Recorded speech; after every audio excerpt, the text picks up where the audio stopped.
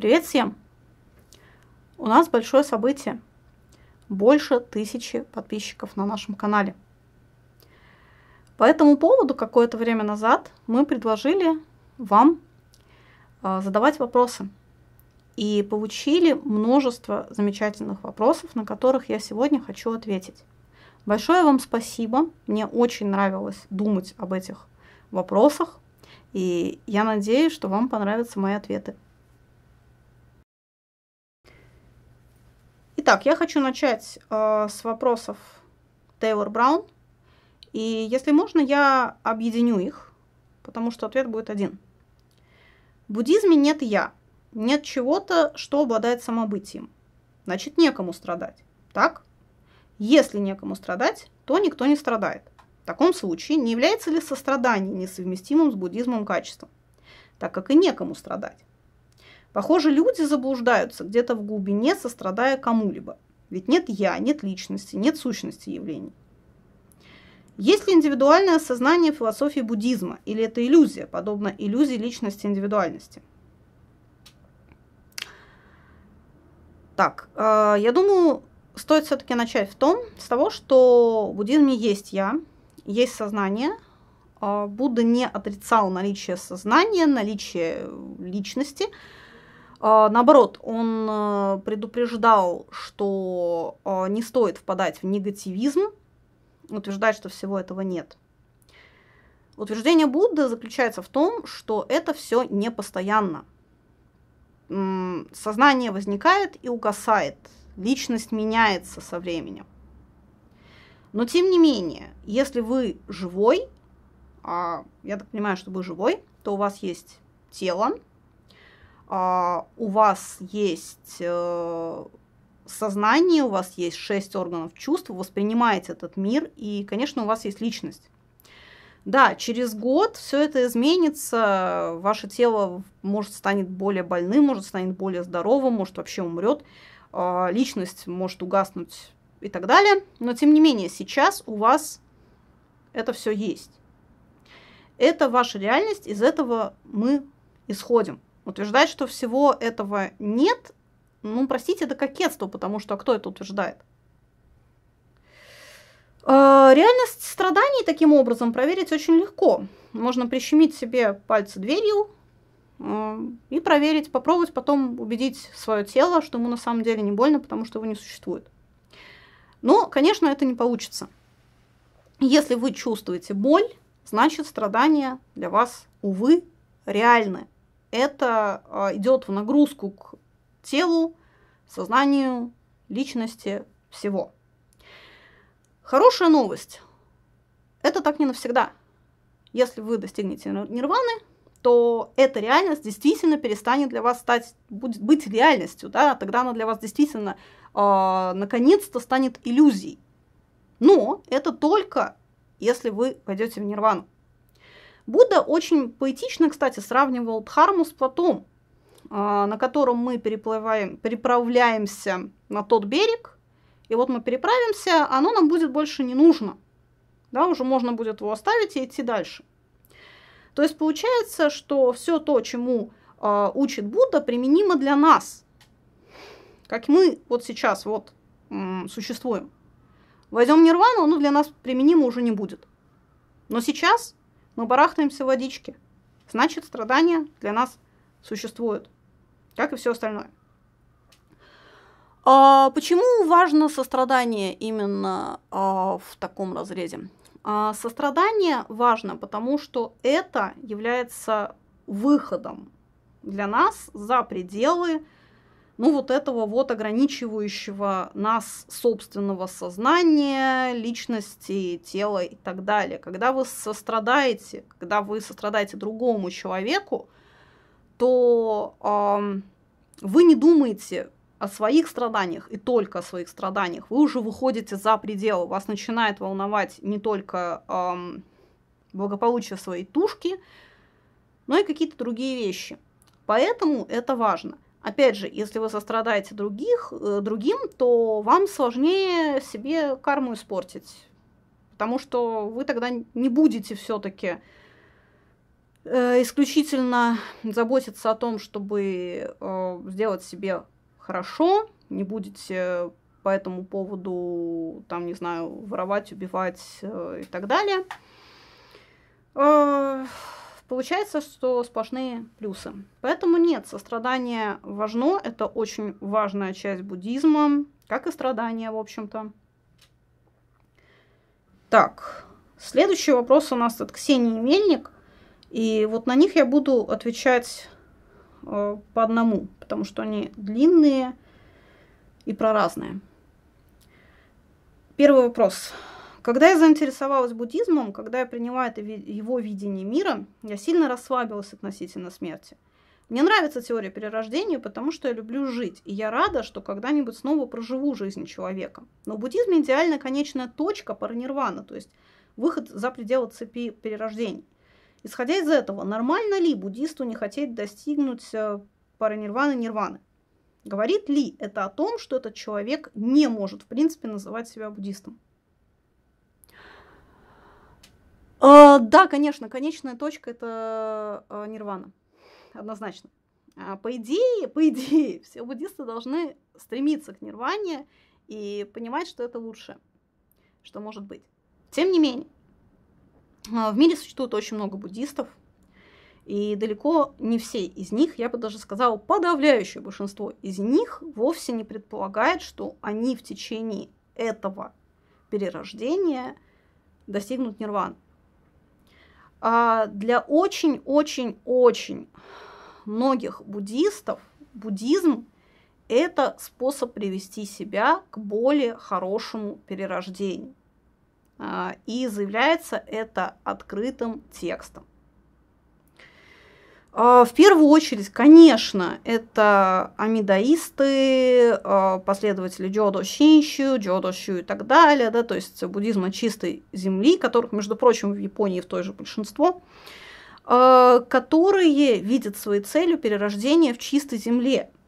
Вот все остальное, да, это уже будет после перерождения, после чистой земли, мы уже будем думать, как дальше в нирвану войти. Но наша цель – это войти в чистую землю. Это первое.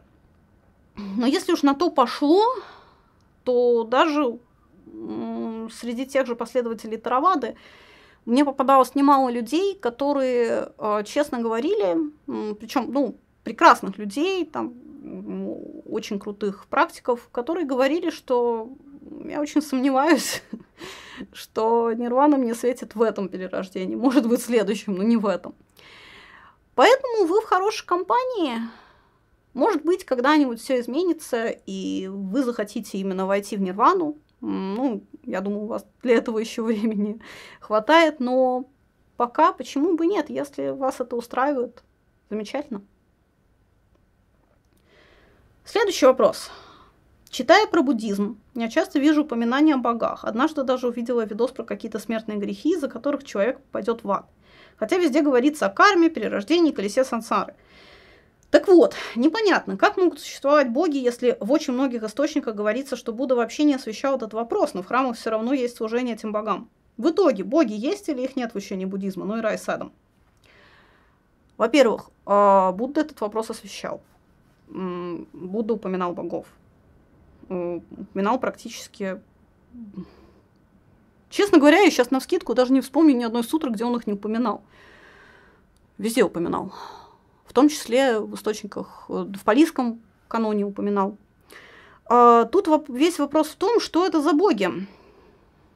И вот смотрите, для людей, выросших, ну, скажем, в христианской культуре, Бог – это кто-то такой очень всемогущий, всемогущий, всезнающий, очень-очень крутой и, по всей видимости, еще творитель Вселенной, да, обязательно. Но э, в политеистических религиях боги не всемогущие, не всезнающие. У них есть свои ограничения, их даже можно убить, если очень постараться. А буддизм делает еще один шаг и утверждает, что боги это даже не самое крутое, что может есть, может быть, да? Будда это круче. И более того, Родиться человеком это, в общем-то, даже лучше, чем родиться Богом, потому что у человека больше шансов стать Буддой. У богов с этим не очень. Почему с этим не очень? Потому что они слишком хорошо живут. Они очень долго живут, э, они практически не страдают, э, поэтому они не осознают своего положения и, скорее всего, так и не возьмутся э, за какую-то серьезную практику. Плюс они очень заняты, они постоянно занимаются какими-то своими вещами, которые с точки зрения Будды суета-сует, но для богов это все очень важно. А, но, но боги могут проникнуться буддизмом. И если они прониклись буддизмом, то они не будут сидеть без дела, они будут э, нам как-то помогать, они могут поддерживать буддистов, они Будде помогали, это тоже есть в палистском каноне, защищали Будду, когда он занимался практикой, уговаривали его, к слову сказать, проповедовать буддизм. И таким образом, почему бы нам, простым буддистам, не иметь хорошие отношения с богами? Запросто. Почему нет? А, и рай с адом тоже есть. Рай это, собственно, тот самый, эм, та самая сфера существования, в которой живут боги. В ней можно переродиться. Это будет очень круто, но эм, в конце концов не так круто, как переродиться человеком, потому что, напоминаю, э, очень долго проживете, все будет замечательно, а потом опять перерождение новое, и оно будет уже не такое клевое. А, ад это тоже сфера перерождения, в ней можно переродиться, если вы очень-очень-очень плохо живете, вот совершаете те самые смертные грехи. Но это не совсем, я не знаю, как можно их переводить именно как грехи в буддизме. Деяния скорее. В общем, если вы очень плохо живете, то вы можете переродиться в аду, но это тоже будет не навсегда. Это будет очень надолго, но потом опять перерождение. Ну, перерождение, опять же, тоже так себе, потому что в аду не очень получится накопить хорошую карму. Но, тем не менее, это тоже всего лишь перерождение. Так что боги есть, рай есть, ад есть. Так, следующий вопрос. В каком-то из видео я услышала высказывание, если буддист идет по дороге и видит, как кто-то избивает ребенка, он должен будет просто пройти мимо. Пример утрирован, но предполагаю, что речь идет о несуетливости, равнодушии буддистов к происходящему вокруг них. И теперь вопрос, насколько этот пример имеет место быть? Ну, это, конечно, утрировано, и... но я понимаю, на чем это может быть основано. Дело в том, что для буддиста, особенно, особенно если это монах, лучше держаться как можно дальше от всякой э, мирской суеты. Чем дальше ты от нее держишься, тем лучше – то есть не влезать во всякие конфликты и во все остальное, просто сосредоточиться на своей практике. Но в то же самое время буддист должен быть э, сострадательным, он должен всем сострадать живым, да, иметь мету. И вот как это сочетается? С одной стороны, не вовлекаться, с другой стороны, сострадать. Не совсем понятно. Если вы отловите кучу буддийских учителей и всем зададите вот этот вопрос конкретно с примером, да, вот вы идете по улице и видите, как э, какие-то нехорошие люди избивают ребенка, что вы будете делать? То вы получите очень разные ответы. Кто-то скажет, что надо пройти мимо, иметь сострадание э, ко всем участникам этой ситуации, к избивающим, к ребенку, но тем не менее пройти мимо – кто-то скажет, что э, нужно попробовать разрулить эту ситуацию мирным путем. Ни в коем случае не вовлекаться в конфликт, а наоборот постараться этот конфликт угасить. Вот это будет истинное состояние, сострадание. А кто-то, возможно, скажет, что истинный буддист должен кинуться под палки сам, закрыть ребенка, да, и вот кинуться под палки, имея сострадание к избивающим тоже – Потому что так получится, что ребенка спасли, но избивающих тоже спасли, потому что буддист сам кинулся, а ребенок не кинулся. Но найдутся и такие, кто скажет, что надо взять палку по увесисти и хорошенько отдубасить избивающих. А, и что вот это будет сострадание. Почему? Потому что ребенка спасли, и если вы очень усердно отдубасите сострадающих, то их вы тоже спасете, потому что они после этого не смогут э, никого избить. Правильно? Тоже сострадание. А, и вот интересно, что все из этих воззрений, которые я перечислила, абсолютно все, э, могут э, быть подтверждены примерами из канона, потому что канон очень большой. Эм, какой для себя выбрать, ну это уже ваше личное дело. Я бы сказала, что, на мой взгляд, тут нужно смотреть именно из своих индивидуальных э, реакций. Для кого-то может лучше мимо пройти, потому что лучше не станет, будет только хуже. Если вы э, слишком вовлекаетесь в ситуацию, да, если вы не способны э, в нее входить хладнокровно, с состраданием, а непременно распаляетесь и кидаетесь э, на всех с кулаками, то, может быть, действительно лучше просто проходить мимо. То есть буддизм это учитывает такой вариант, но однозначным он не является. Так, идем дальше. Что конкретно входит в рутину практикующего буддиста? Как начать практиковать на раннем и более продвинутом уровне? Это очень сильно зависит от эм, направления, к которому вы принадлежите. Настолько сильно, что э, говорить в общем у меня лично не получится. Я не знаю.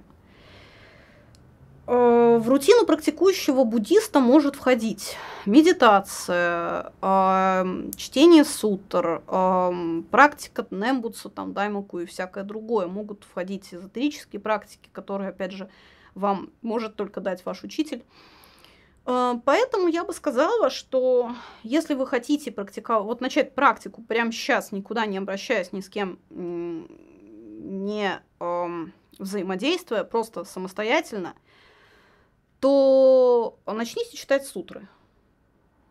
Это просто беспроигрышный вариант. Начните читать сутры, и потом, если вы хотите уже более продвинутый уровень, то тут, увы, а, в одиночку я не рекомендую. Я рекомендую найти кого-нибудь, хотя бы каких-то людей, с которыми вместе можно заниматься практикой, может пойти в какой-нибудь храм и там уже решить, что дальше. Вот. Это краткий ответ. Следующий вопрос. Как так получилось, что некогда религиозный народ стран Китая, Кореи Японии стал скорее атеистами? Да, монашество и храмы все еще есть, да и миряне-буддисты тоже, но их процент стал сильно меньше относительно атеистов. Как получилось, что христианство и ислам более крепко укоренились именно у мирян? Так, ну для начала Насчет того, что они стали скорее атеистами, я не согласна. Я не буду говорить про Китай и Корею, пусть об этом говорят э, китаисты и кореисты, я буду говорить про Японию, но в Японии вот этот результат, который любят э, приводить, что, мол, по-моему, там 60% э, японцев считают себя атеистами, это результат очень криво составленных опросов, которые, на мой взгляд, исходят из такой, ну как бы это сказать, монотеистического понимания религии, когда просто берется э, какой-нибудь, ну, берется христианство, давайте откровенно говорить, и натягивается как сова на глобус, да, на все остальные варианты. Почему так делать нельзя? Почему это неправильно? Потому что в христианстве ты или верующий христианин, или ты не христианин. Не может быть никакого промежуточного положения, состояния. Ты не можешь одновременно э, быть христианином и кем-нибудь еще. Э, ты не можешь, будучи христианином, временами практиковать какую-то еще религию или, наоборот, будучи приверженцем какой-то другой религии, ходить иногда в христианские э, храмы, э, церкви. Это невозможно. Это все является каким-то неправильным пониманием христианства. Но когда мы, опять же, говорим о политеистических религиях, когда мы говорим о том же буддизме, то это совсем иначе. Оно не выглядит все так. А в той же Японии а, люди практиковали одновременно с буддизмом, ну, скажем, синтоизм, да, а, там, щугендо, всякое такое. И не видели в этом никакой проблемы на протяжении очень-очень длительного времени. Опять же, э, буддизм в Японии никогда не был э, идентичностью, да, важной идентичностью, которая отличает людей от других. Потому что когда у тебя все вокруг тоже э, являются по факту буддистами, да, то есть похороны проходят по буддийскому обряду, все ходят в буддийские храмы, то какой смысл себя отделять от них, да, как-то утверждать, что я там буддист? А, именно из этой ситуации у нас происходит то, что мы сейчас видим. Когда людей э, по факту э, к стенке прижимают и требуют ответа, вот кто ты, ты там, вот есть у вас религия, да, к какой религии вы принадлежите. А человек не может этого сказать, э, потому что он просто не знает, а может ли он себя считать буддистом.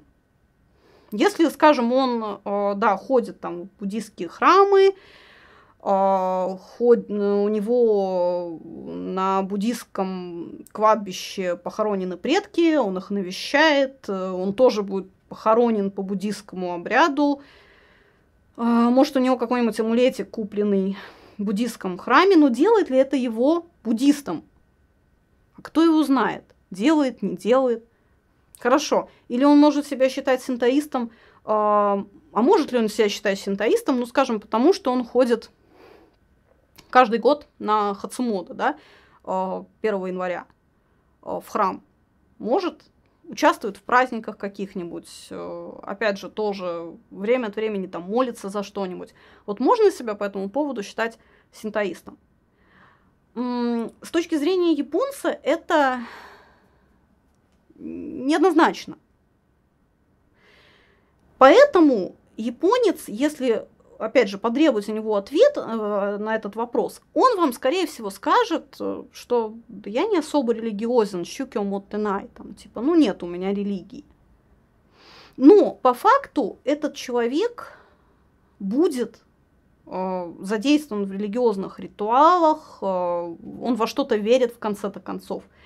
И вполне возможно, что эта вовлеченность в ритуалы, да, она будет выше, чем у среднестатистического европейского христианина, который, да, вот будет, скажет, конечно, я там, не знаю, православный католик, но на самом деле в церкви бывает примерно столько же, сколько японец, даже меньше, возможно. Какие-то религиозные догматы не соблюдает, не постится.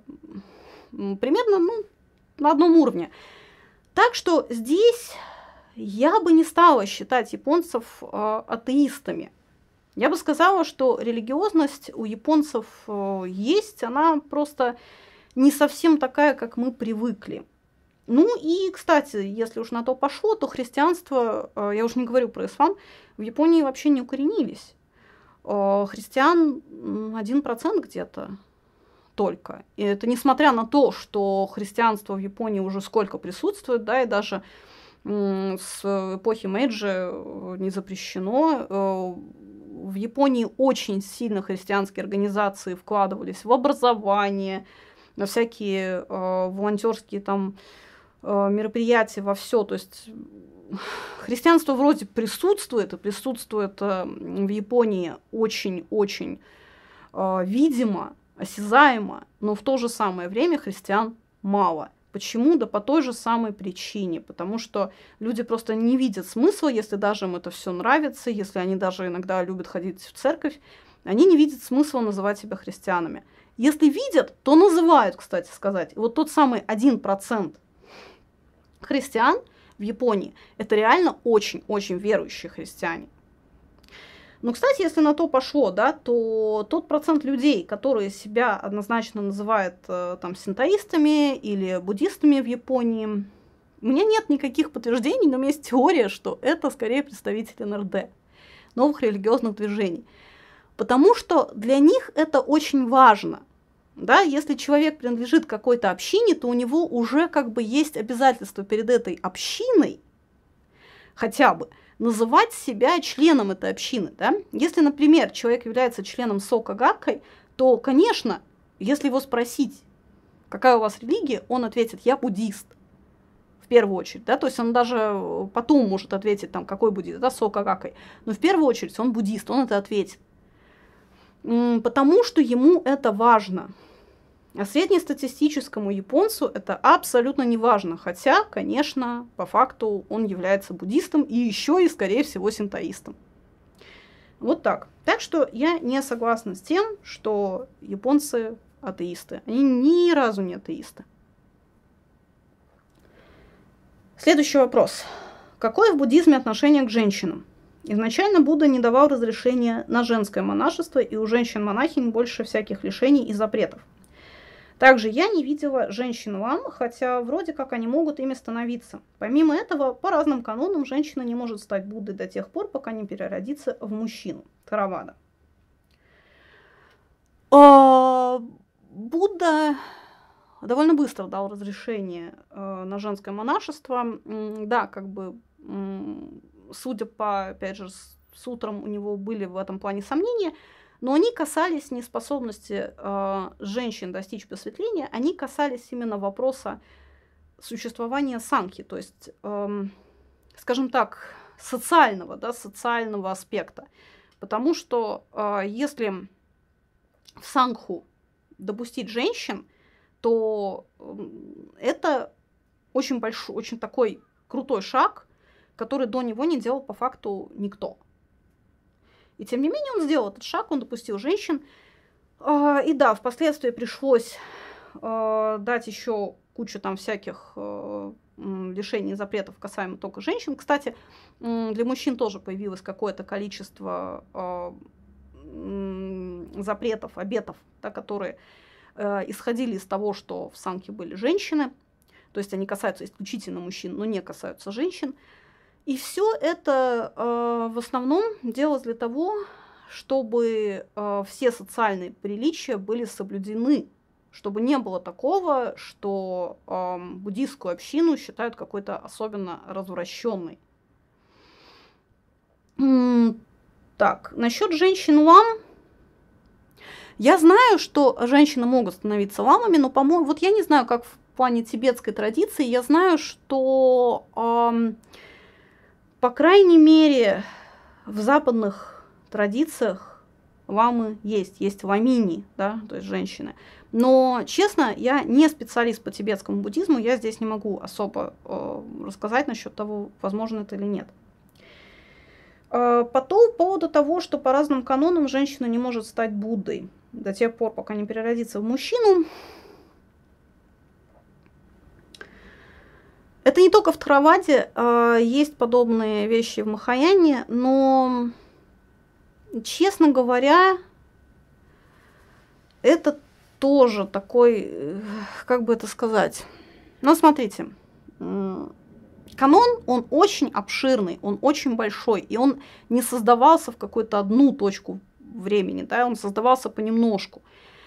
И вот я придерживаюсь э, мнения, что э, какие-либо э, части канона, которые утверждают, опять же, не только по, по женщин, а неспособности кого-либо там достичь просветления, э, они были реакцией на существующее положение дел именно в этот конкретный момент времени. Ну, скажем, если у нас была женская сангха, какой-нибудь как отдельно взятой стране, а потом у нас власти заявили, что все, женщинам больше нельзя стричься в монахини, это какой-то разврат, они должны быть там жены матери. И по факту у нас сейчас женщины не могут стать монахинями. Женской санхи в стране нет, ее не осталось. А что вы можете в таком случае, если у вас, опять же, вот вы э, следуете Таравади, и вы считаете, что для того, чтобы достичь просветления, стать Буддой, нужно непременно стать сначала монахом. А женщина не может стать монахиней. То, конечно, единственное, что вы можете предложить женщине, это приходи попозже, когда станешь мужчиной. Все, никаких других вариантов нет. Но сейчас, конечно, это уже не так. И, честно говоря, ну, я не считаю очень умными тех людей, которые по-прежнему этого придерживаться. В буддизме их ну, хватает, они есть. Но мне это кажется довольно глупыми воззрениями, потому что по факту женщина может э, в наше время все то же самое, что может мужчина. Если вам кажется, что женщина не может достичь просветления, то тогда как получается, что просветлением вы собрались достигать с помощью пениса. Ну, это совсем не соответствует канонам, правильно? Так что я считаю, что руководствоваться этими моментами лучше не стоит. Даже если вы их нашли в каноне, прочитали, ну, почитайте что-нибудь другое из канона. А, тем не менее, в буддизме отношение к женщинам разное. Опять же, буддизм это очень широкое понятие. А, в каких-то а, традициях у женщин фактически те же самые права и возможности, что и мужчин. В большинстве все-таки нет, и женщины в какой-то степени все-таки поражены в правах, но это исходит из того, что вот до последнего времени мы с вами жили в таком жестком патриархате, и это, конечно, на все влияли, на все влияло, в том числе на религии. Э, религии, к тому же, как правило, довольно консервативны, и буддизм это тоже касается. А, что нам, как женщинам, с этим делать? Я бы сказала, что ничего, поддерживать своих и доказывать своим собственным примером, что можем. Я обычно, когда мне кто-нибудь говорит э, что-то из разряда «ты женщина, ты просветления достичь не можешь», говорю «угу, вот, встретимся в Нирване, посмотрим, кто быстрее». Все. И последние два вопроса от юзера с никнеймом «Текст». Пара вопросов по истории религии. Интересует, какова была роль каннущей в феодальной системе раньше, в период Эда, например, в японском обществе сейчас. Мыслилось ли синтоистское духовенство как отдельное сословие со своими правами и привилегиями и занимавшееся именно поклонением Ками, особо не смешивая это с другой деятельностью, или это чаще были атрибуты государственных должностей, подобно римскому обществу.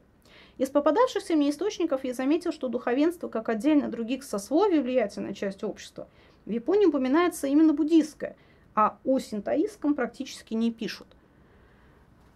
Есть причина, почему о синтоистском практически не пишут, потому что мы о нем очень мало знаем. Почему мы о нем мало знаем? Потому что в Мейджи, как вы знаете, во время реставрации Мейджи досталось, конечно, буддийским храмам, но синтоистским храмам, пожалуй, досталось еще сильнее. Очень много синтоистских храмов было уничтожено, а в других э, были почищены документы. Почему это происходило? А, потому что синтоизм по факту строили заново. Э, синто э, собирались установить как э, государственную религию, оно к этому было не очень приспособлено. Поэтому то, что мы имеем сейчас, вот тот синтоизм, который мы имеем, э, он, во-первых, э, имеет очень многие черты конфуцианства, потому что занимались этим по факту конфуцианцы. И вообще ну, скажем, приведен э, к какому-то знаменателю, который ему ранее не был свойствен вообще. Э, что мы знаем о э, Синто до Мейджа? То есть вот, ну, хотя бы в тот же период Эда. Э, мы знаем, что было очень по-разному. Во-первых, э, есть свидетельство, что довольно велика была роль женщин, что вполне логично, и даже еще в Эда э, этого было очень много. Э, а вот потом в Мейдже фактически роль женщин в Синту свелась на долгие-долгие годы до подметания и танцевания, а участия в каких-либо серьезных ритуалах не было. Э, опять же, нет никаких э, однозначных доказательств, что существовало какое-то отдельное сословие, именно канущие.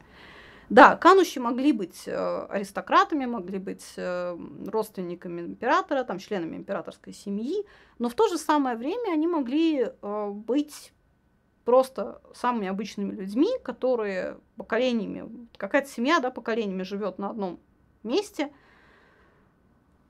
и выполняет в том числе э, обязанности канущей. Такое тоже было, и такое, кстати говоря, есть и сейчас тоже. Я бы сказала, что сейчас как раз благодаря вот этому, благодаря реставрации Мэйджи у нас есть хоть какая-то система. И сейчас у нас э, те же канущие получают образование религиозное, э, получают там лицензию, э, но по-прежнему, чем дальше, чем дальше от столицы, чем дальше в какие-нибудь традиционные общества деревенские, тем больше мы видим людей, которые просто были призваны, то есть почувствовали, что да, вот им нужно идти в такое-то святилище и там выполнять роль канущей. Или, опять же, потомственно просто занимаются всем, занимаются этой, допустим, святилищем на протяжении уже многих-многих поколений. Хотя по факту это, конечно, не является их основным доходом, они еще что-нибудь делают по жизни. Э, чаще всего они фермеры какие-нибудь возделывают землю там, ну и заодно занимаются каким-то цветищем, которое находится на их территории. Но бывают и другие варианты, самые-самые разные.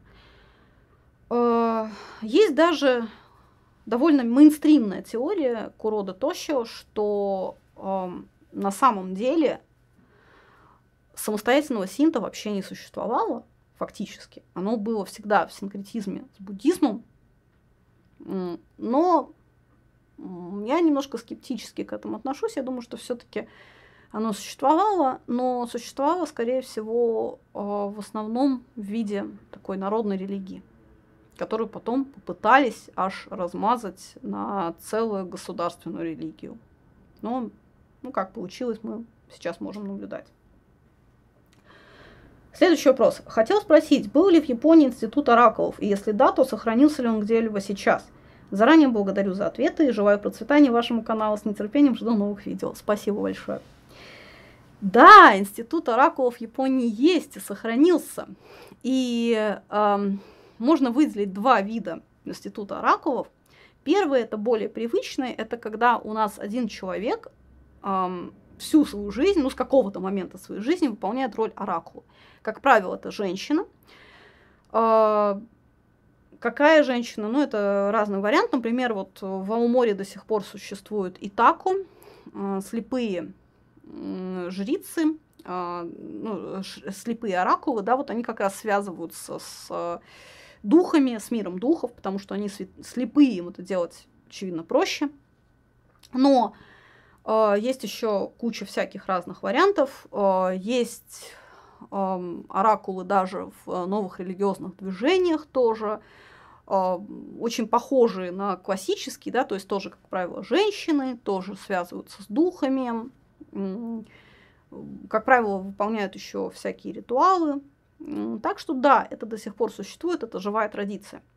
Но есть еще один вариант, и вот он как раз уже практически исчез, да, скорее всего исчез, но оставил после себя интересный след.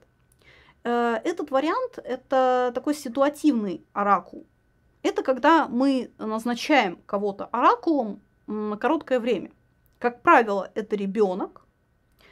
А, как правило, это просто э, вот брали одного ребенка, а, вводили его в транс посредством там танцев, песен. А, ну, обычно вокруг него хоровод водили и пели что-нибудь, танцевали. Вот такой вот метод. И потом спрашивали что-нибудь важное, чего хотели добиться от духов. Вот этот э, метод, по-моему, уже вообще исчез. По крайней мере, мне не встречалось его упоминаний уже начиная там со второй половины 20 века.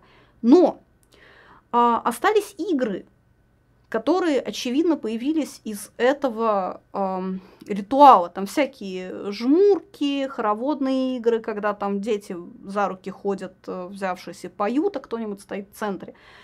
Вот это, по всей видимости, изначально имело функции э, общения с оракулом, да, то есть введение человека в транс, чтобы он что-нибудь там говорил через себя, пропускал, то есть слова духов. Ну, вот такая вот тоже была традиция интересная. Ну, ну что ж, я надеюсь, я ответила на ваши вопросы достаточно исчерпывающе. Я напоминаю, что э, любые вопросы можно задавать в комментариях. Можно идти на мой телеграм-канал и на Камону, он есть в описании. А, там мы тоже общаемся, там я тоже отвечаю на ваши вопросы. Так что, пожалуйста, пишите, будем общаться. Большое спасибо, что вы с нами. И я надеюсь, нас будет становиться только больше и больше. Обещаем больше видео, а, больше тем. Спасибо. Пока-пока.